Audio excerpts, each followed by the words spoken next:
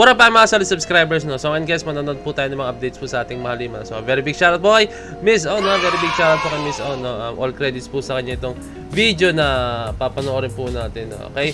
So ayun, ako nang patagalin pa no. Pero bago ko simulan to guys no, um, kindly leave a like, subscribe and kindly ring that notification bell na rin guys no, para alam niyo kung ako yung nag-release ng bagong video no. So ayun, ako nang patagalin pa. So without further ado, let's all watch this.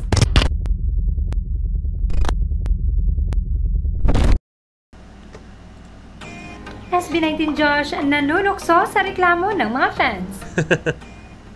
Ano naman kaya ito? Remember those times na nagpapatrend tayo dahil hindi na natin nakikita ang SB19 at namimiss natin sila? Yung panahon na wala silang ganap na binabahagi kaya di natin mahagilap? Well, 2024 is very different dahil aside sa mga ganap sa grupo ay mayroon ding mga solo. Umaabot pa nga sa point na nagkakasabay-sabay na. Kaya heto si Josh while handling the SB19 official Twitter account for the Kalakal music video promo ay nanunukso sa mga fans. Ang sabi pa nito, dati reklamo kayo walang ganap o ngayon mabuang kayo dyan. Ito ay matapos magpa-trend ang 18 para sa apat na ganap.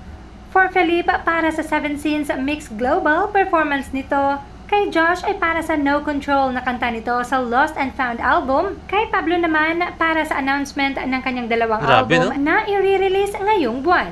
At ang para sa SB19, ang pag-aabang para sa Kalakal music video na ilalabas ngayong September 11, 7pm. Malapit na. Tiba-tibang ang 18 sa ganap ng SB19, mapagrupo o solo man. Grabe guys, no?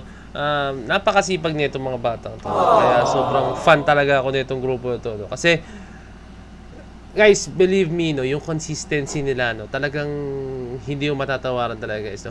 Maraming artists, maraming mga akong mga grupo or marami akong mga um, singer or performer na talagang na ano na susubaybayan no na okay sige pumunta sila sa point ng kasikatan na dumating sila sa point na ganito no pero alam mo yun pag na-reach na nila yung certain heights na gusto nila no or parang okay na sa kanila no parang nag ano sila parang nag-lay low na sila no kumbaga ano sila um kontento, kontento na sila ron. Uh, wala namang masama ron, wala namang masama no, as long as na-reach mo na yung achievement mo no. Pero dito ako bumibilib sa SB19 kasi guys ang gusto ng SB19 is worldwide domination and then syempre makilala ng mga iba't ibang artists all over the world no pero alam mo yon nakilala na po sila eh all over the world eh mga natanggap na sila mga awards mga achievements di ba pero hindi pa sila rin sila satisfied no ayun yung gusto kong attitude ng SB19 no? gusto ganyan yung gusto kong attitude no pinapakita lang po nila guys na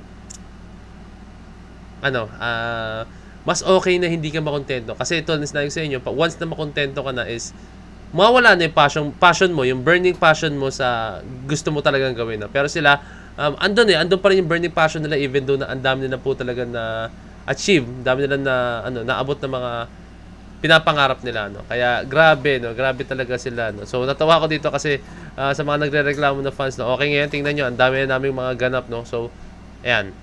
Kailangan suportahan niyo kayo para Okay, di pa tayo guys. 1 ng September. Okay, baka ang pasabog.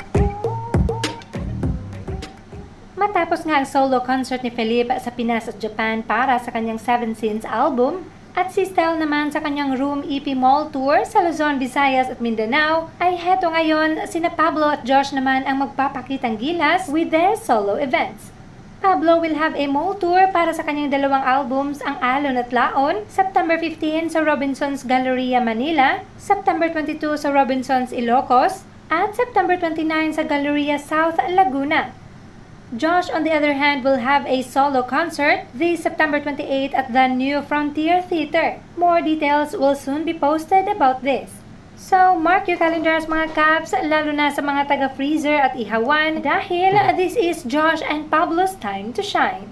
Tiyak na gugulatin tayo sa kanilang mga pasabo.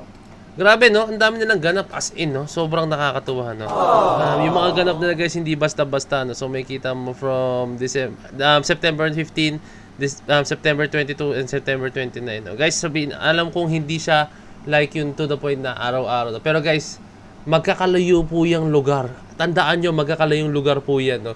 Manila and then Ilocos. Tapos biglang Laguna no, 'di ba? Magkakalayo yan guys. If I'm correct, um, Ilocos, o tama, sa north yung Ilocos, no? And then Laguna, guys, bandang south yun, di ba? Kaya, alam mo yun, magkakalayo, no? Hindi yan basta-basta, guys, no? Tapos, maniwala kayo sa akin, hindi lang po yan. Ito, kay Pablo to, di ba? Um, schedule to ni Pablo, no? After naman yan, guys, is, ano, no? Hindi yan yung, ano, tama ba? Si Pablo ba to? Schedule ba ito ni Pablo? September 28. Ah, tama. Si, ano kasi Josh, September 28. So, kay Pablo to, no? Um, yung mga yan dates na yan, guys, hindi lang po yan yung mga dates na may ganap sila, no? Or may ganap ang every member ng SB19, no? Um, yung, kung sabihin natin yung 9-16, ano na yan, marami silang gagawin dyan.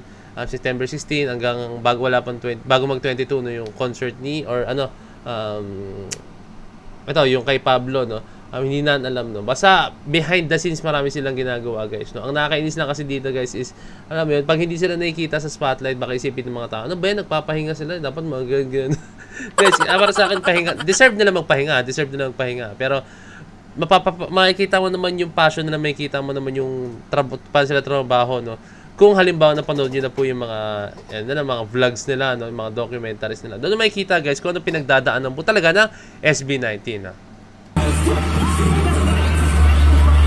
Josh reveals subunit in SB19, Joke and collab soon. Hmm, joke and collab soon.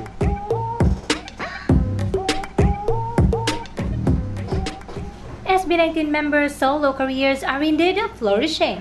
But as much as we have loved and supported their solo ventures, fans are also excited to see a subunit within the group. At heto nga sa latest live ni Josh, a fan asked for a joke and collab at narito ang kanyang naging sagot. Joke and collab yan. Ah, tingnan natin, tingnan natin. Actually, na nag-uusap-usap naman kami. Lahat kami, ah, maganda mag-collab-collab din kami as a, a group, di ba? Um, subunit, subunit. Joken is indeed exciting to hear and of course marami pang pwedeng maging subunit sa SB19 knowing how good their voices are and how they can do a lot of genres. But of course, iba pa din talaga kapag kompleto ang mahalima. Tama, tama, tama. Ano. Um, para sa akin, okay yun, guys. Eh. May collaboration sila na dalawa. No? Like, kunyari, kasi doon mag magkakaroon ng, ano, eh, ng creative process, no? Para sa akin, magkakaroon siya ng creative process, no? Since, kunyari, si Josh at saka si Ken, di ba, nagsama, no? Alam niyo na magkaiba sila na uh, almost, siguro, I think almost, no? Pero mag nagsama sila ang solid, no? And then, pwede si Pablo, tapos si Stel. Kasi di ba si Stel more on sa mga ano siya, mahilig siya sa mga kanta na mga love song tapos yung mga mga ballad songs guys, no? mahilig si Stel sa ganun. Si Pablo guys, more on sa side siya na ano eh.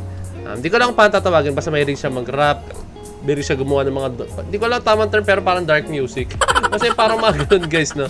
Eh, yung parang ah, hindi ko nang tawag eh. Hindi kasi ako ganun ka-knowledgeable pagdating sa genre ng music. Baka yung masabi ako mali, no? Baka mahirap, mahirap mag, mag, mag tayo ng, ng false information, no? So, basta may ganun style. No? So, pag nag-clash sila ni, ano, pwede, no? Like, bumuo sila ng bagong music, no? Di ba? Asar makita na, and then tatlo sila, collab, di ba? And okay yun, no? Pwede yun, no? Alam mo yun, yung collab kayo, pero magka-grupo kayo. Ang kulit lang, no? Pero, for me, masarap makita yung ganun, no? Sana makita natin yung ganun, guys. I hope, guys, na makita natin yun, no? And alam kong hindi naman ako may gusto I think kayo rin may gusto rin, no? So, abangan natin yan, no? Malay nyo, mangyari, no? Okay? Uh, bago tapusin po itong video to, no? Um, kindly like my video and kindly subscribe na rin po and kindly ring the notification bell na rin para alam nyo kapag naris ako ng bagong video, no? So, yun lang. Maraming salamat. So, this is Point of signing out. Peace, let's see.